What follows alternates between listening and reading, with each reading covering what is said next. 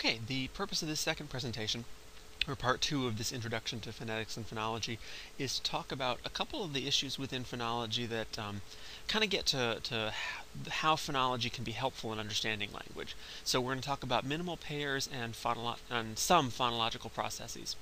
Um, as we go through this, I'm going to assume that you are relatively familiar with the IPA uh, characters and that you're reasonably comfortable with them. I don't expect you to have mastered them, but I'll be I'll be using those in this presentation. So you'll certainly want to have the IPA chart in front of you. And if um, anything in here seems to give you problems, then then go back and take a look at the exercises and, and or, or ask me if you have questions about things that aren't making sense. So when we talk about um, phonology, or at least when we talked about it in the last lecture, I said that phonology studies the sounds which make a difference, and I want to say a little bit more to clarify that now, um, because it, the, all sound differences make a difference, but but in what sense does is that difference important?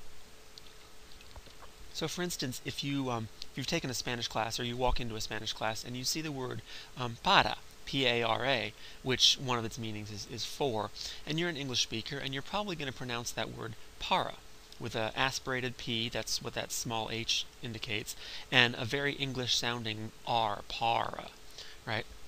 And that's that's an acceptable pronunciation, but it's going to sound um, like you're an English speaker. It's you'll have an English accent. If you hear a native Spanish speaker saying the word, you'll hear them say something closer to para with an unaspirated P. Notice the the aspiration's not there, and also the um, the R is really an alveolar flap, the same thing that we saw in English in words like better and little.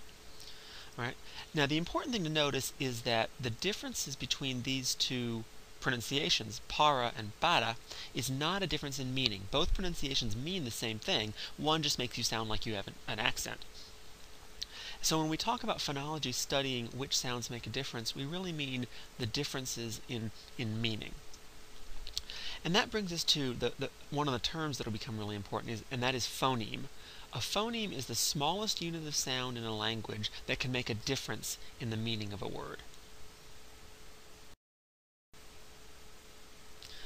So, for instance, um, an English unaspirated P and an English aspirated P don't make a difference in, in meaning. So in English, the unaspirated P and the aspirated P, and I'm really exaggerating the aspiration there, but those don't make a difference in meaning. They are not different phonemes. In some languages, they are different phonemes, and I'm making up a word, but you could say pat and pat, um, and those would be different words with different meanings.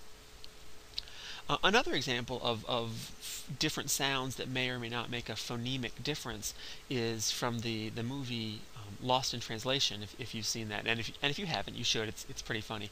Um, but there's a scene in which there's a woman who's asking Bill Murray to, to lip her stockings. And he's has no idea what she's talking about. He's being confused. The confusion arises because in Japanese, the er and the ul sounds don't make a difference in meaning. And so a word might be pronounced with an er or an ul, and that won't change the, the, the meaning of the word, whereas, of course, in English it does. Give you a, a, a, third example of the sorts of sounds that might or might not make a difference. Spanish has no Z sound, um, and I know you're going to immediately object if you've taken even the first day of a Spanish class. Um, the Spanish language does have an alphabet. Uh, excuse me, the Spanish alphabet does have uh, a letter Z in it. But what I mean is that the, in Spanish, the s and the z sound, the voiceless and the voiced alveolar fricatives, don't make a meaningful difference. Spanish has no z, no voiced alveolar fricative as a phoneme. Just real quick, a couple side notes. Um, you'll see me indicate sounds sometimes in square brackets and sometimes in angle brackets.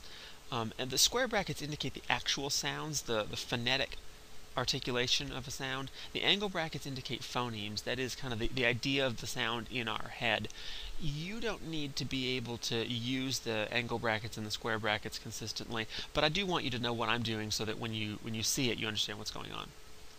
Second note, as, as I indicated, the Spanish alphabet does have a letter Z, but there's no Z phoneme. In fact, the, the letter in the alphabet is pronounced as zeta, uh, or if you're from Spain as theta. So there's no there's no zeta. If you say that again, you'll sound like you have an, an English accent.